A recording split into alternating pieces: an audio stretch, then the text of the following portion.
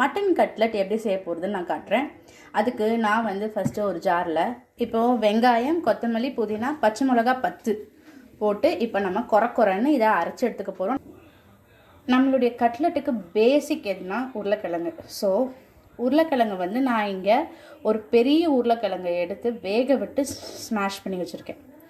Okay கரெக்டாக நல்லா ஓரளவுக்கு இதுதான் பேஸு நம்ம கட்லெட்டு அப்போ தான் கரெக்டாக பிடிக்க வரும். ஸோ ஒரு பெரிய உருளைக்கிழங்கை எடுத்து இல்லை நீங்கள் ரெண்டு சின்ன உருளைக்கிழங்கு எடுத்து நம்ம இது இந்த அளவுக்கு நல்லா ஸ்மாஷ் பண்ணி வச்சுக்கணும். இந்த அளவு நான் சொல்கிறது எதுக்குன்னா நான் வந்து ஹண்ட்ரட் கிராம்ஸ் கொத்துக்கறி எடுத்து வச்சுருக்கேன். ஓகேங்களா ஹண்ட்ரட் கிராம்ஸ் கொத்துக்கறிக்கு இந்த அளவு.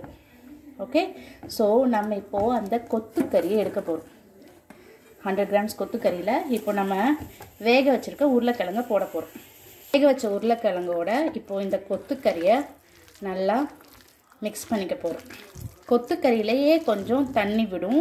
உருளைக்கிழங்கையும் கொத்துக்கறியும் நல்லா மிக்ஸ் பண்ணியாச்சு.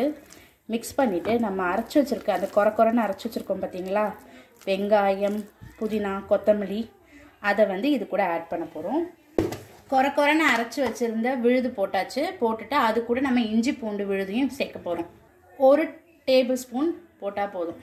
சரிங்களா? ஏன்னா நம்ம நூறு கிராம் தான் கறி எடுத்து வச்சுருக்கோம். ஸோ ஒரு டேபிள் ஸ்பூன் இஞ்சி பூண்டு விழுது.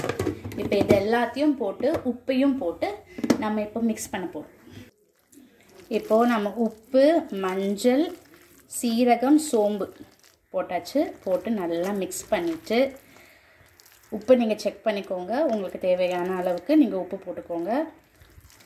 போட்டுட்டு இப்போது நமக்கு கட்லட் மிக்சர் ரெடி ஆயிடுச்சு. மற்றவங்க என்கிட்ட கேட்டாங்க. என்ன கேட்டாங்கன்னா எப்படி நீ வந்து வீடியோ போடுறதுக்காக இதெல்லாம் செய்கிறியா அப்படி கிடையாதுங்க. என் வீட்டில் நாங்கள் என்ன சாப்பிட்றோமோ அதை தான் நான் வீடியோவே எடுத்து போட்டுட்ருக்கேன். ஸோ இதுதான். முடிஞ்சு போச்சு. ஸோ இப்போ நம்ம வந்து கட்லெட்டுக்கு பார்த்தீங்களா உருண்டை ஓரளவுக்கு பிடிக்க வருது. உங்களுக்கு நீங்கள் இது செய்கிற மிக்சர் வந்து தண்ணியாக இருக்கிற மாதிரி இருக்குது அப்படின்னு தோணுச்சுன்னா நீங்கள் இதில் கார்ன்ஃப்ளவர் மாவோ இல்லை கடலை மாவோ இல்லை மைதா மாவோ நீங்கள் ஆட் பண்ணி நீங்கள் திக்காக கட்லெட் போட்டு எடுத்துக்கலாம்.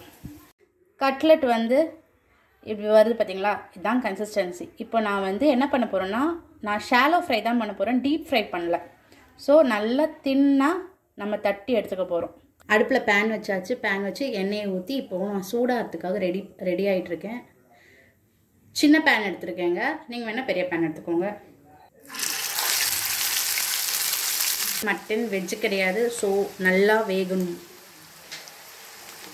சூப்பராக கட்லெட் வெந்துட்டுருக்கு.